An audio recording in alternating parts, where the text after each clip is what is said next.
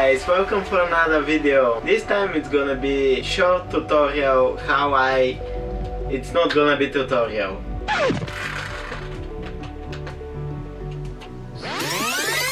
It's gonna be how I edit my ORWO film photos. So let me jump in Photoshop. Okay, first, uh, as you can see here, I already edited these images. Um, I'm not sure if it has to be color film. I think it has to be color film because of this one. Uh, when you know how old is the film, uh, it's actually pretty good colors. But after I finish editing the first images, I decided to go black and white. So uh, yeah, let me show you the process. Okay, so the first method is very simple. You open the curves and from there from there you choose auto. But before you choose auto you have to set up the auto options to be this one. Enhance per channel contrast. Because you want the auto curve to set input and output value for the for every single channel not for the contrast. You want red one green one and blue one. You want these values.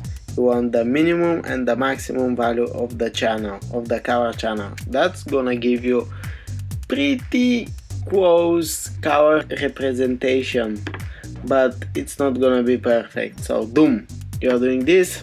After that you just drop in your black and white panel and you're done. This works really well if you scan the image and uh, don't convert it in the scanner software.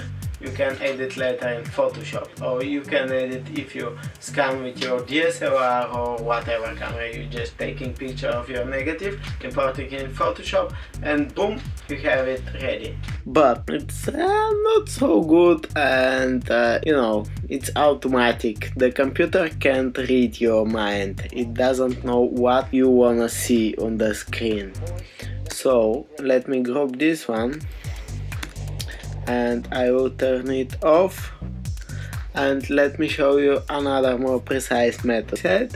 I try to eliminate the red tint. Accomplish this, you open the selective color panel and we're on the red channel because we want to eliminate the red tint.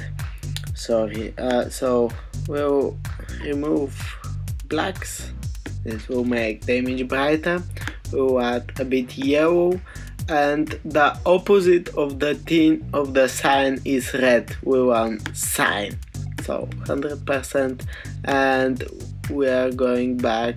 I am looking after this retro sepia look let's add some brightness. Okay and some contrast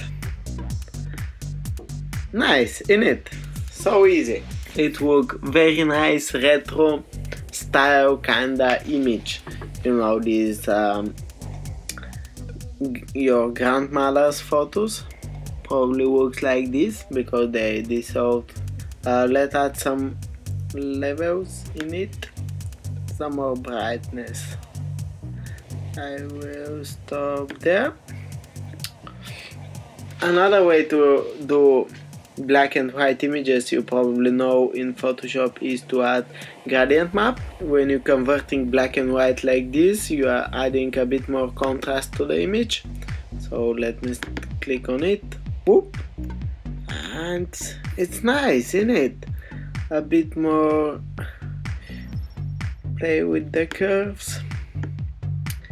Okay, I like I like it like this now it's completely black and white image but if you click auto option it's gonna adjust the brightness and it will very very nice but it's a bit too much so I will do the opacity to 60% that's it.